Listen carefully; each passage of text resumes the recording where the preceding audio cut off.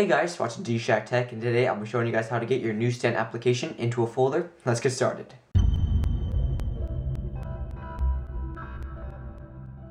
So as most of you know, Newsstand is a new application that comes pre-installed with iOS 5. It is a perfect application for those who actually download subscription-based content, but for the rest of us who don't really use Newsstand, it just takes up an icon on our home screen that cannot be put into a folder with some other useless utilities. And I know for me, one is extremely organized icon layout, it can be extremely annoying. So to do this tutorial, um, it's very simple. You do not need a jailbreak of any kind. All you need is iOS 5 on your iDevice. But I will admit, it does seem a little bit sketchy maneuver to get Newsstand into a folder, um, and it's and it's very hard to explain clearly. So what I suggest is just watching very closely. I will do it a number of times. So all you need is your Newsstand application and two um, applications that you want that you can put into a folder. Um, I'll try this multiple times. I'm not sure I'll get on the first try because it is very weird in concept. So all you gotta do is highlight it, and then what, you're gonna drag it over and see how it highlights just like that, um, where it starts the new little bubble around it to begin the new folder. What you're gonna do once that once that begins, you're gonna have to move your um uh, you gotta you gotta select the newsstand right as that happens. So watch watch closely.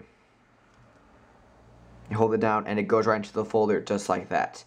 Um, so you can pull it out just like that. And it's a very simple maneuver. Um, well, you gotta you gotta try it a couple times. It took me a couple times to figure out how to do it, and so let's do it one more time for all you guys can see. So you gotta make it make it jiggle just like that.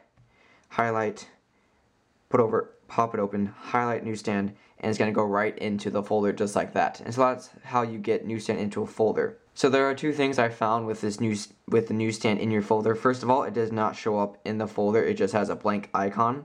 The second thing is actually quite scary. I know it scared the hell out of me the first time it happened to me. So what you do when you open up the folder and you want to open up newsstand within that folder, it shuts off your iPod or iPhone into like a into like a hybrid form of restart or a respring. Um, so let me show you. So you touch it, it just turns off just like that. But yet it doesn't really restart. It just comes right back on. I don't really know what that is. I know it scared me the first time that happened. But if you if you're willing not to open up newsstand within the actual folder, that is how you get newsstand into a folder and get it out of your home screen. And so that's pretty much the, that's pretty much it for this tutorial. Hope you guys enjoyed it. Check out my channel D Shack Tech and be sure to subscribe. Thank you for watching and as always, I'll catch you guys next time.